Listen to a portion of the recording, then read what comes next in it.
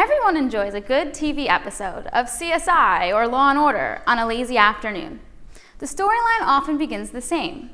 A body washes up on shore, and one of the first pieces of information detectives need to figure out in order to solve the crime is where the body came from.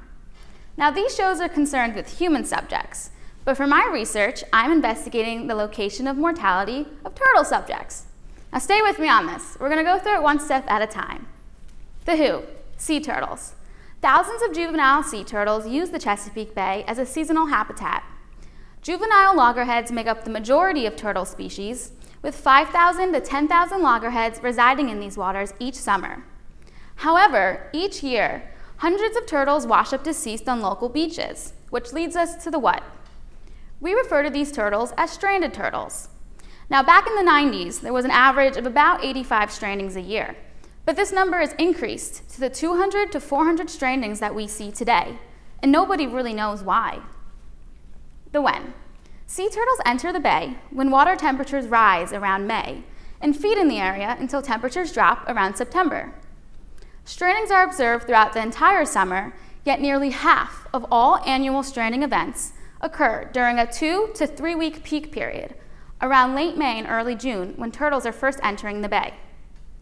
Which leads us to the last two questions, and perhaps the most important questions the where and the why, which are the focus of my research. Similar to a detective investigating a murder, one of the first pieces of information we need is where at sea these turtles are dying. So, upon death, turtle carcasses sink until internal gases from decomposition causes the body to bloat and float to the surface. At this point, the body's movements are largely dependent on physical processes, such as currents and winds. For my research, I'm using computer simulations to model these movements.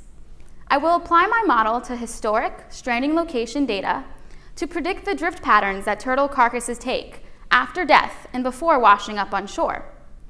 This will help us in determining likely locations of juvenile loggerhead mortality in the bay and will help us in answering the where, after which point we can look at the why. Once these potential mortality hotspots have been identified, I will look at activity in the area that may be contributing to turtle mortality, such as interactions with fishing gear or cold water temperatures. This information will provide focus areas for conservation and will be invaluable in designating protected areas for turtles in the bay. Hopefully, this will put us one step closer towards solving this puzzling cold case. Thank you.